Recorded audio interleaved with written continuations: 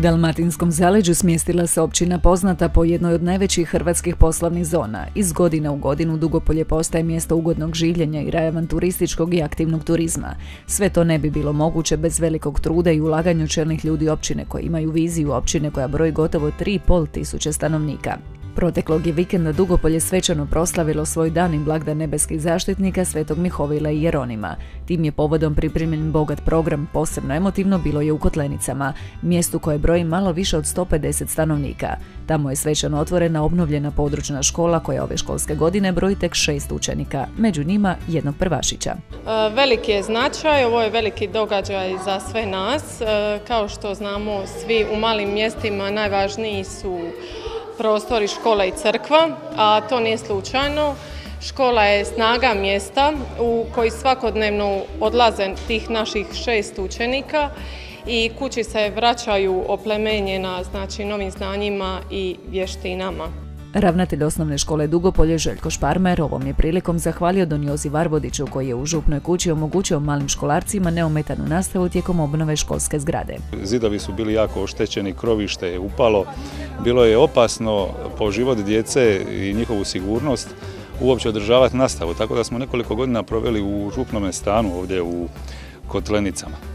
Eto, nakon izvršene projektne dokumentacije, e, odabira jeli, e, javne nabave, preko javne nabave županija je dakle našla izvođača i evo u nekih otprilike godinu i pol dana završen je čitav projekt. Kotlenici imaju tu sreću da otvaraju školu za razliku od nekih drugih sredina koji su primorani zatvoriti svoja vrata, kazuje zamjenik župana Splitsko-Dalmatinskog Luka Brčić. Imamo jedan objekt u koji je Splitsko-Dalmatinska županija uložila milijun i šesto tisuća kuna, šestoro djece, nadamo se po uzoru na Krušvar gdje smo također prošle godine otvorili jednu područnu školu i sada imamo u toj školi e, evo ove godine značajan veći upis učenika i to je naša osnovna intencija. I znamo sad da ne budem pretjerano patetičan, jedno mjesto kada izgubi školu da ono na neki način se gasi i zato nas na poseban način veseli ovi događaji i svagdje gdje god imamo mogućnost da će biti učenika, ulagat ćemo u ovakve sadržaje. Ove godine, nažalost, smo dvije područne škole bili prisiljeni zatvoriti jer su se svele samo na jednog učenika. Kotlenice su i prije imale područnu školu, no s vremenom se devastirala, bila je praktički za otpis.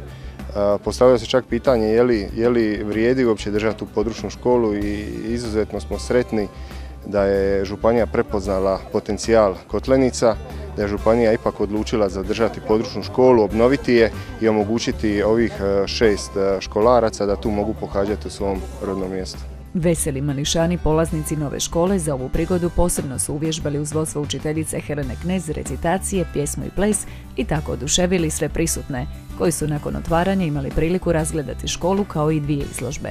Jednu koju je pripremila sama Marijana Rogošić, napravljena od fotografija kojima se prikazuje kako je tekla obnova zgrade.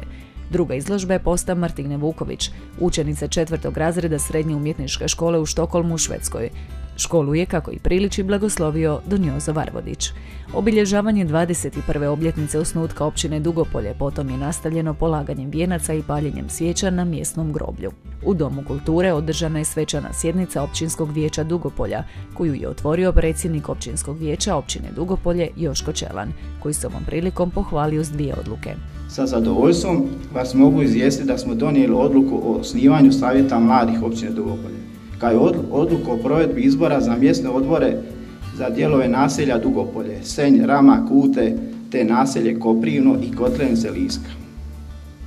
S ove dvije, dvije vrlo važne odluke omogućit ćemo da se mladi kojima pripada budućnost, ali svi ostali stanovnici Dugopolja mogu aktivnije uključiti u kreiranje života rasta i razvoja naše općine u vremenu koje dolazi. Načelnik Perica Bosančić predstavio ostvarene projekte u proteklom razdoblju. Ove godine rekonstruirana je ulica Svetog Mihovila kao i križanje Svete Jelene, a bageri se uskoro sele u ulicu 114. brigade. Svoju pažnju sada usmjeravamo na ulicu 114. brigade, ulicu kojom svakodnevno prolazi veliki broj djece na putu do škole.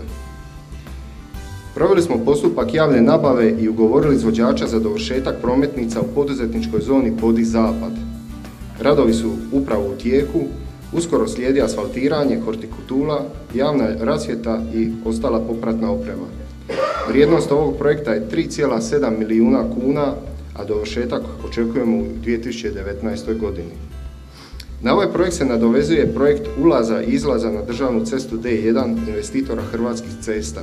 Znatna sredstva ulažu se u izgradnju dječjih igrališta, izletišta, biciklističkih odmorišta, ali u nove kanalizacijske kolektore. Znatan iskorak napravljen je u povlačenju sredstava iz europskih fondova, gdje su u ovoj godini dobili 7,5 milijuna kuna, a s nestrpljenjem se iščekuje i Centar za posjetitelje Splitsko-Dalmatinske županije, kojim će Dugopolje postati Centar Dalmatinske Zagore. Ovaj u građevinskom smislu 11 milijuna kuna vrijedan projekt će značiti preporod turizma Dalmatinske Zagore, a još više veseli da je velik dio projekta financiran sredstvima Europske unije. Na svečanu sjednicu ravno iz Imotskog stigao je i splitsko-dalmatinski župan Blaženko Boban, koji je ovom prilikom istaknuo da županije imaju smisla koliko je želje, rade i volje u njih uloženo. Mi ove godine, ne mi nego sve županije u Hrvatskoj, slave 25 godina svog postojanja. I postavlja se pitanje da li one imaju smisla. One imaju smisla onoliko koliko smisla energije, truda, volje i želje i rada ulože ljudi koji obnašaju određene dužnosti, pa tako i županiji. Naša uistinu ima smisla.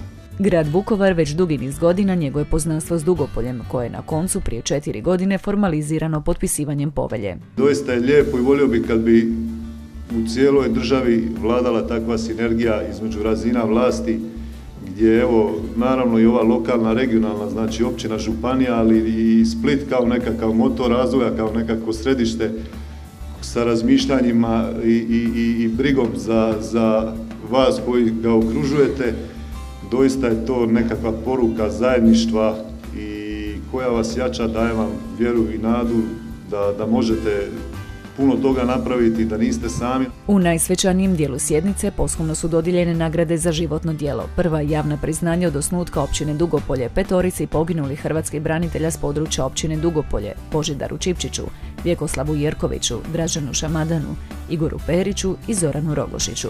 Nagrade su uručene članovima njihovih obitelji.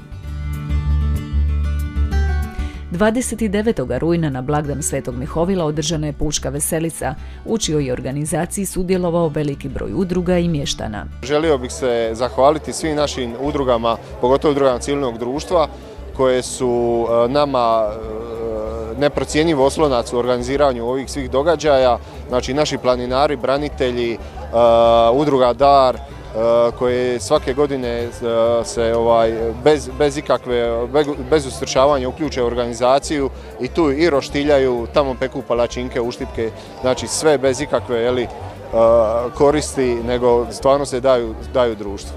Pohvalio bi lovačku udrugu Ljubljan, naše komunalce iz tvrtke Pode Dugopolje, udrugu branitelja, također danas smo imali udrugu konopaša koja je organizirala na sportskim terenima susrete, tako da zaista veliki broj mještana sudjeluje u ovim manifestacijama.